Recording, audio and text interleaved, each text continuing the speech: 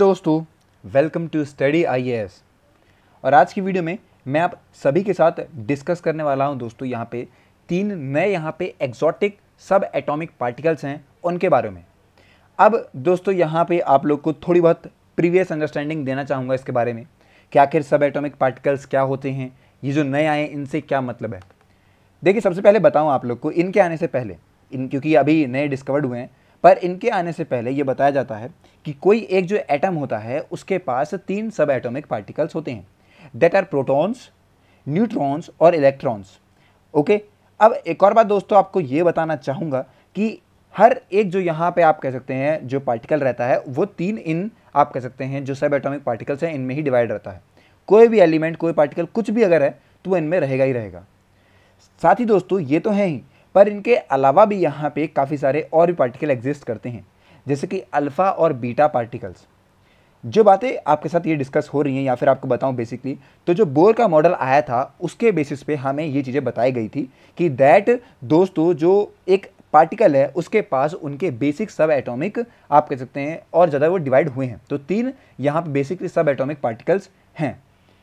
Okay आज की video में मैं आपके साथ जो डिस्कस करूँगा, वो एक्जॉटिक सब एटॉमिक पार्टिकल्स के बारे में बात करूँगा। क्योंकि यहाँ पे जो डिस्कवरी हुई है दोस्तों, वो इनके अलावा मतलब जो प्रोटॉन न्यूट्रॉन और इलेक्ट्रॉन है, इनके अलावा यहाँ पे डिस्कवरी करी गई है। तो वीडियो को पूरा देखिएगा और समझने की कोशिश कीजिएगा कि क्या है ये और कैसी डिस्कवरी हमें देखने को मिलती है। कोई डाउट होता है, कोई वर्ड या फिर कोई आपको चीज़ नहीं समझ में आ रही है तो उसका पूछेगा कमेंट सेक्शन के अंदर। ओके चलिए अब बढ़ते हैं, लेकिन आपको बता दूँ मैं कि दोस्तों अन अकेडमी की परफॉर्मेंस पिछले दो सालों से हमें बढ़िया ही देखने को मिली है। काफ़ी सारे फीचर्स हैं जो कि सिर्फ़ और सिर्फ़ अन अकेडमी अवेलेबल करवा रहा है, जिसका बेनिफिट आप ले सकते हैं। देखिए दोस्तों, आप लोग के लिए यहाँ पे एक्सटेंशन भी लाया गया है, जो कि आठ जुलाई तक है, जिसका बेनिफिट आप लीजिए, और हमारा जो कोड है स्टडी आईएस वो यूज़ आप कर सकते हैं। आपको काफ़ी सारा बेनिफिट मिलेगा। देखिए सी एस एश्योर है, जिसका आप लोग फ़ायदा उठा सकते हैं, हमारा कोड यूज़ करके आपको ज़रूर डेफिनेटली फ़ायदा मिलेगा। टेस्ट सीरीज़ अवेलेबल है यूपीएससी के लिए तो उसका बेनिफिट भी आप ले सकते हैं। ज़ीरो परसेंट की ई भी दोस्तों, वो अवेलेबल है तो जिनका आप लोग बहुत आसानी से बेनिफिट ले पाएँगे। देखिए large hadron collider beauty experiment था दोस्तों L H C B experiment था, जो कि इन्वेस्टिगेट करता था एक स्लाइड डिफरेंस बिटवीन मैटर और एंटी मैटर के बारे में। और इस, आप कह सकते हैं स्टडी के बीच में यहाँ पे उन्होंने एक पार्टिकल टाइप बताया, जिसका नाम था ब्यूटी क्वाक मतलब कि बी क्वाक करके नाम। और ये जो पार्टिकल है दोस्तों, ये इससे पहले कभी भी देखा नहीं गया था। सी ई आर एन सन जो है दोस्तों, उन्होंने ये बातें अनाउंस करी। जो यहाँ पे वर्ड दोस्तों जुड़ा गया है, वो जोड़ा गया है कि एक्जॉटिक एडिशन हुए हैं। नए तरीके का यहाँ पे पेंटा क्वाक हमें देखने को मिलता है, जो कि पहली बार जो है वो टेट्रा क्वाक का पेयर है। ओके मतलब कि अगर पेयर कर दिया जाए पेंटा क्वाक को तो टेट्रा क्वाक में कन्वर्ट हो जाते हैं। और दोस्तों, इनके बाद यहाँ पे काफ़ी सारे और हैंड्रोन्स भी हमें देखने को मिलते हैं LHC के अंदर।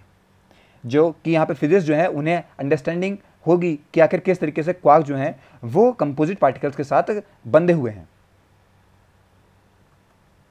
देखिए सी आर एन मतलब कि काउंसिल यूरोपियन पोरला रेचरे न्यूलेरिया अब बहुत गलत प्रोनाउंसिएशन है, मान रहा हूँ मैं, पर लैंग्वेज डिफरेंस दोस्तों, होगी प्रोनाउंसिएशन गलत।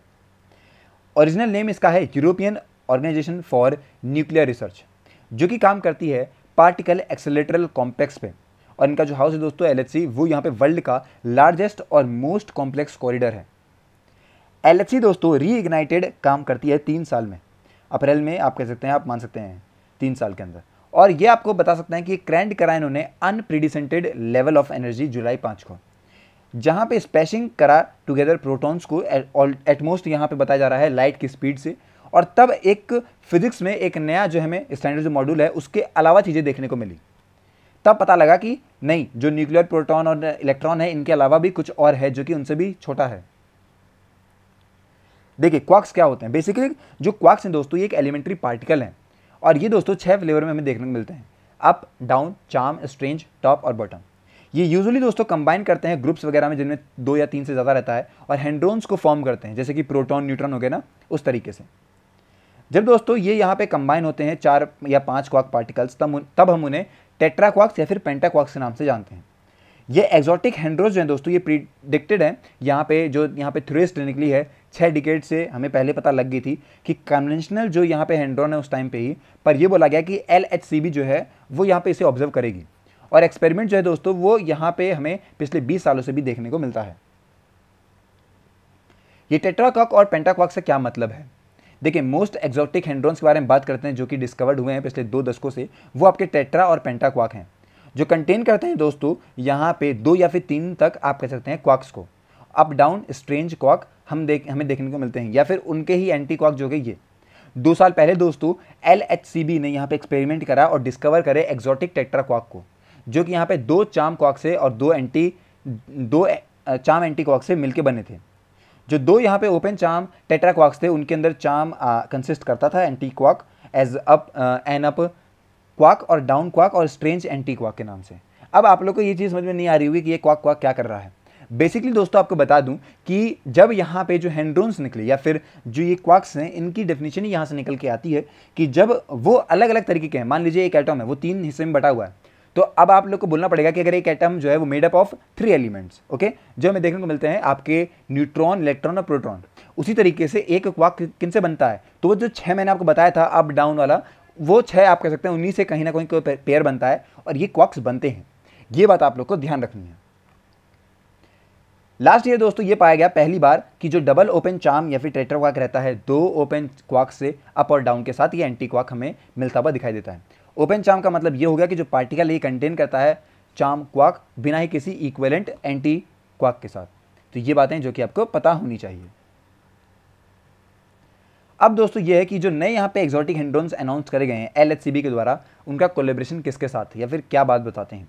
पहली बार दोस्तों ऑब्ज़र्व करा गया इसको यहाँ पे कि इसके अंदर डिकेल्स को एनालाइज करा गया निगेटिवली चार्ज बी मेजोन का। जो कि दोस्तों ये एक pentaquark made up of charm quack और चाम एंटी क्वाक से बना हुआ है, जिसके अंदर आपके अप, डाउन और स्ट्रेंज आते हैं।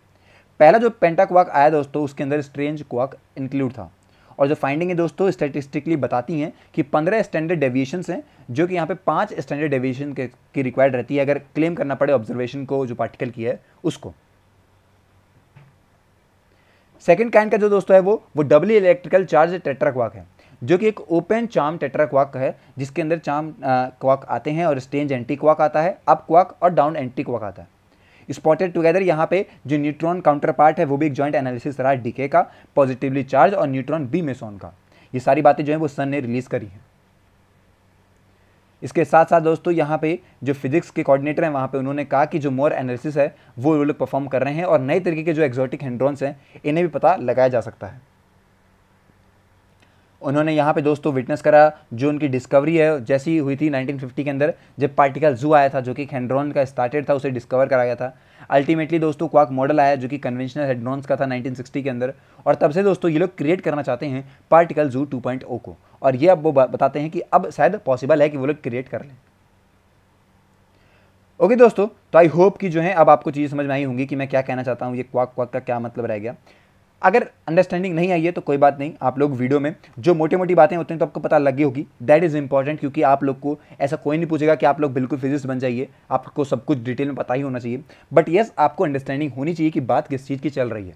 ओके आई होप दोस्तों कि अब आपको पता लग गया होगा। मिलते हैं नेक्स्ट वीडियो में और भी अच्छे लेक्चर्स के साथ। Till then take care and have a nice day